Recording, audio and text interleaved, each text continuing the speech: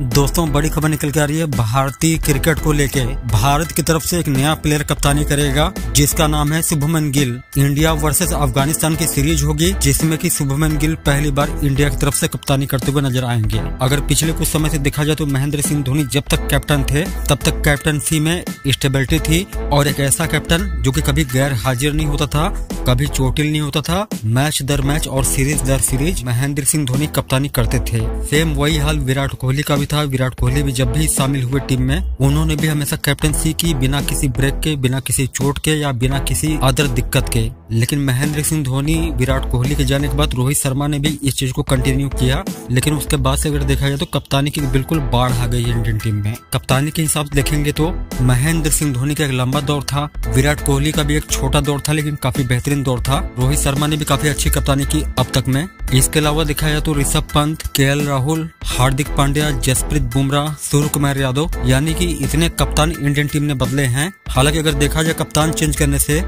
तो खिलाड़ियों के मनोबल पर प्रभाव पड़ता है। खिलाड़ी अपने आप को अनसिक्योर फील करते हैं।